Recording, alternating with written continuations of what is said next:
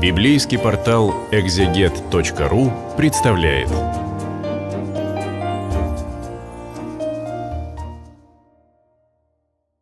Здравствуйте. В рамках проекта, представленного порталом экзегет.ру, мы поговорим сейчас с вами о 17 главе Евангелия от Иоанна. В 17 главу выделен текст, который традиционно называют первосвященнической молитвой. Это молитва, которую Господь совершает э, в заключение, в завершение Тайной Вечери, молитва об учениках.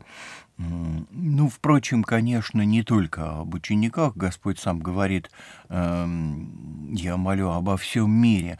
Но все-таки преимущественно это молитва Господа Иисуса именно об э, своих учениках.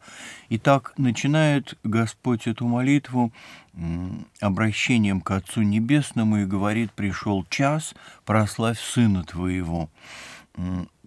Мы уже говорили о том, что Э, прославь – это выражение, которое, пожалуй, следует все же понимать э, отодвинув в сторону э, человеческие представления, для библейской культуры, в которой живет и действует Господь Иисус, это в первую очередь означает явление Э, самого Бога, действия Бога, проявления э, Бога в этом мире. Слава Божья – это э, некоторая некоторый феномен, который трудно, а часто и вовсе невозможно ни описать, ни объяснить, но все-таки смысл его заключается в том, что присутствие самого Бога вот некоторым образом сказывается в этом мире. Поэтому, когда Господь Иисус обращается к Отцу и говорит «прославь Сына Твоего», Он, вероятно, все же говорит в первую очередь именно о том, чтобы э, сама природа Бога, сама личность Отца Небесного были в нем явлены, в нем присутствующем здесь, в этом мире, посреди нас. И э, продолжает Господь, говоря о себе, обращаясь снова к Отцу, «Ты дал ему, то есть Сыну Человеческому, власть э, над всякой плотью, да всему, что ты дал ему, он даст жизнь вечную». Это тоже на самом деле важная вещь, потому что задачи, которые ставит перед собой Бог, действуя в этом мире, действуя через Господа Иисуса, часто для нас оказываются таким предметом пререканий, потому что э, мы склонны по своему образу и подобию этой задачи формулировать. Но вот Господь Иисус говорит о том, что власть, которая ему дана, дана для того, чтобы э, всем дать жизнь вечную, всем, кого Отец Небесный дает ему. И совершенно потрясающее, чрезвычайно важное вообще в Евангелии, в вере христиан – э, следующая его фраза. Он говорит, «Сия же есть жизнь вечная, да знают тебя, единого истинного Бога и посланного тобой Иисуса Христа». У людей часто о вечной жизни бывают довольно разные Э, представления, большей частью обусловленные, э, конечно, э, культурой, но до некоторой степени и природными нашими склонностями. Вот поэтому мы думаем про жизнь вечную, как, ну, чаще всего, конечно, как какую-то такую бесплотную душу по возможности с крылышками, которая где-то там после смерти порхает. Вот, это красивая картинка, она была Э, популярна еще э, в глубокой древности, еще и до Господа нашего Иисуса Христа, потом некоторым э, довольно сомнительным, по совести сказать, образом просочилась в головы христиан тоже, у нее есть один недостаток, она неверна. Жизнь вечная – это не жизнь после смерти, в которую мы, строго говоря, не верим, а верим в воскресение мертвых. Э, стало быть, вот. Но жизнь вечная, как говорит Господь Иисус, заключается в том, чтобы знать Бога и знать э, самого Господа Иисуса. И, собственно, и все – и э, этим определяется и вечность этой жизни, и то, что это жизнь, а не э, просто обмен веществ или какая-то еще разновидность физической смерти. Вот, сия есть жизнь вечная, в том это заключается, чтобы знать тебя, единого истинного Бога. Это э, чрезвычайно важно, вообще говоря, помнить, потому что, ладно бы там у нас какие-то были представления, э, более или менее адекватные о том, что мы э, считаем жизнью вечной, но мы ведь под эти представления свои поступки, свои приоритеты как-то выстраиваем. Ну вот поэтому так необходимо для нас эти слова Иисуса слышать. Вечная жизнь заключается в том, чтобы знать Бога прямо сейчас. И, собственно говоря, в результате того, что э, Сын Божий стал человеком, жил среди нас, э, свидетельствовал нам об Отце, умер и воскрес, в результате всего этого больше никаких преград для того, чтобы жить этой жизнью вечной, нет. Все, что возможно знать о Боге, открывается нам в личности Иисуса Христа. Поэтому эти слова о том, в чем заключается жизнь вечная, конечно, имеют э, совершенно исключительное значение. Дальше, когда Господь Иисус молится, он говорит э, тоже удивительные слова. «Я открыл имя Твое людям, которых Ты дал мне от мира».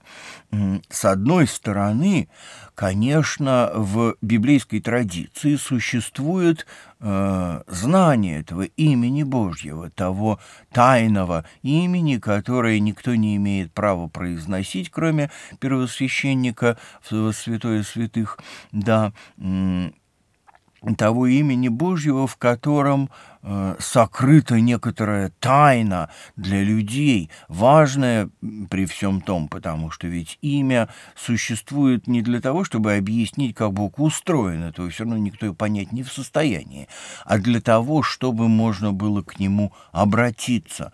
И вот Христос говорит вещь до некоторой степени удивительную, потому что э, любой из его слушателей иудеев в этот момент, его слушают 12, 11 апостолов, может может подумать в этот момент, что ну ведь Бог открыл свое имя Моисею на э, горе Синай, и, стало быть, э, оно уже известно. И тем не менее Христос вот говорит так, «Я открыл имя Твое». Действительно, Здесь речь идет об имени Божьем как возможности об, обратиться к Нему, призвать его, э, вот, как о личной встрече с Богом, которая, собственно говоря, обозначается вот этими словами, то, что имя его теперь открыто для нас, и, собственно, открыто не как-нибудь иначе, а в Господе Иисусе. И дальше, молясь об учениках, о которых Господь просит Отца Небесного, чтобы Он сохранил их от зла, нас, э, пребывающих в этом мире. Он говорит, «Отче святый, сохрани их во имя Твое, тех, которых Ты дал мне». И здесь, э, по-видимому, не так-то просто на нашем языке передать тот смысл, который э, вкладывается э, в эти слова, потому что э, когда мы слышим или читаем слова во имя чего-то или кого-то, э, у нас тоже появляется некоторая э, картинка в голове. Но на самом деле там творительный падеж. И Господь говорит, обращаясь к Отцу Небесному и молясь о нас, говорит, сохрани их именем Твоим.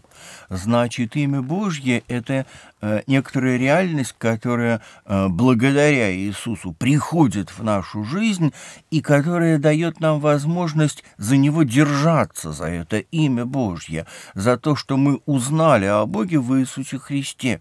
Эм, да, держаться за то, что любовь Божья непобедима, сильнее смерти и даже нашего собственного греха. Вот э, сохранить именем э, это значит действительно э, дать ученикам возможность остаться людьми, или, может быть, правильнее было бы сказать, стать людьми, прыгнуть над уровнем павиана и э, держась за имя Божье, за то, что мы узнали о Боге, за ту правду, которую Иисус нам открыл о нем, вот действительно э, выдраться из того очень плоского и примитивного э, уровня жизни на поверхности Земли, который нам присущ.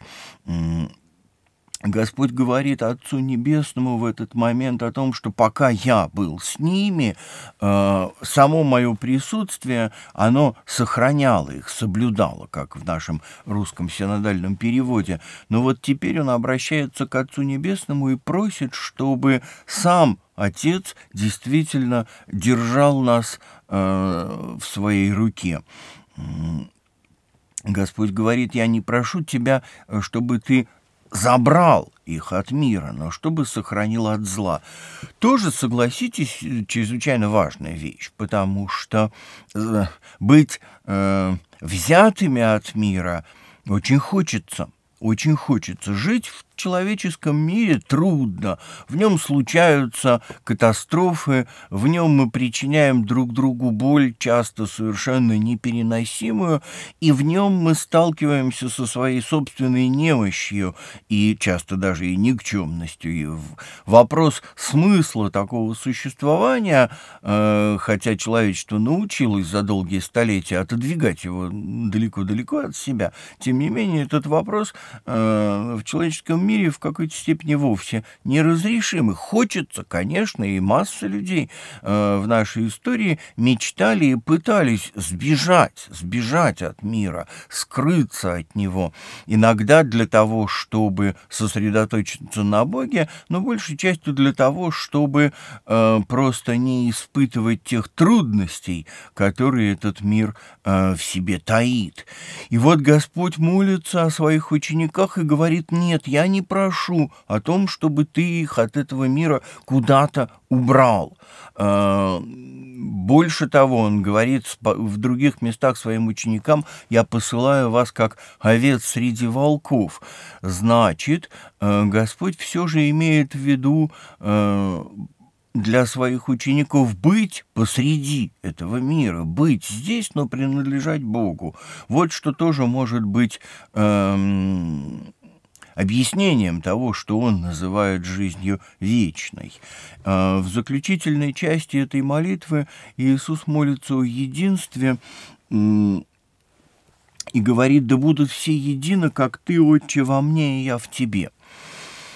И, собственно говоря, вопрос о том, что означают эти слова, далеко не так очевиден.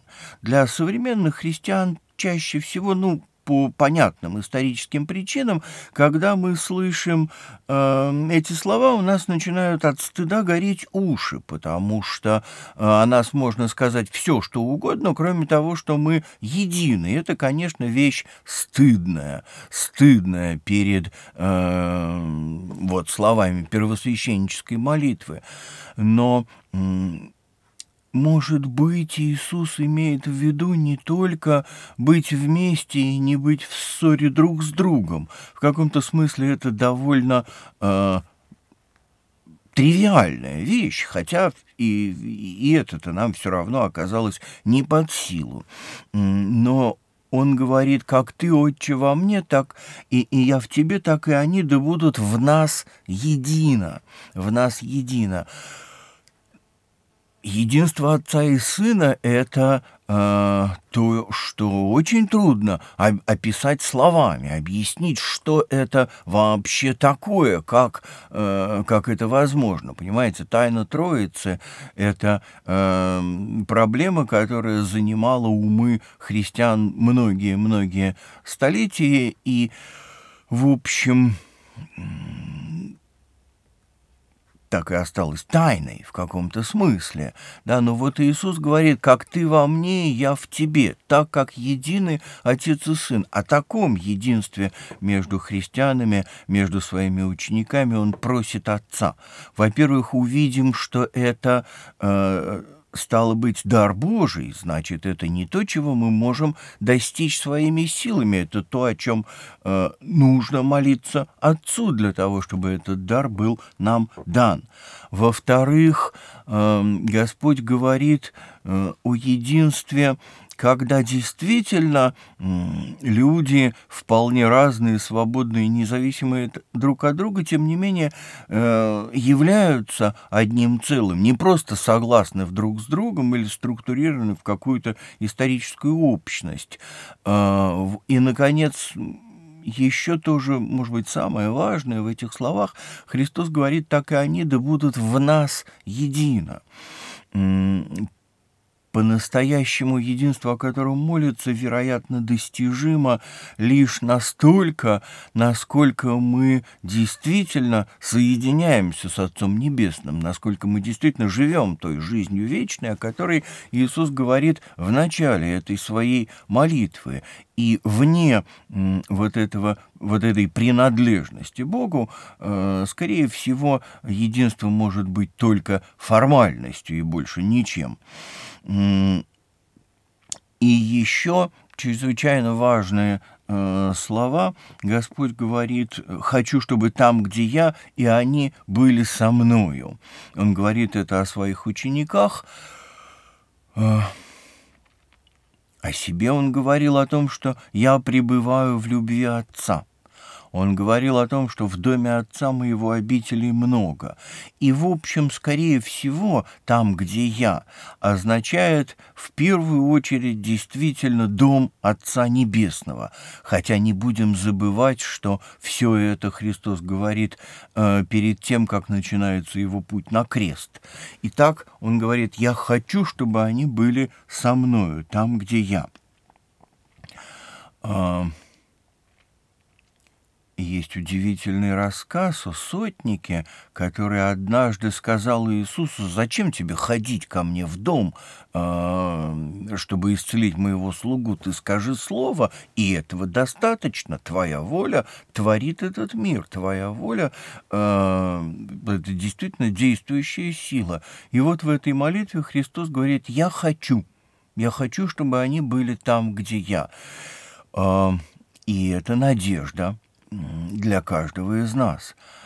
Не то чтобы мы э, надеялись на то, что когда-нибудь мы сумеем э, за какие-то заслуги получить пропуск через фейс-контроль куда-то в Э, сады Парадиза. Мы не на это надеемся, потому что знаем о своих грехах э, все в достаточной степени, но мы надеемся на то, что Иисус хочет, чтобы мы были там, где Он, чтобы мы были вместе с Ним. И ради этого стоит действительно пытаться прыгнуть э, выше головы.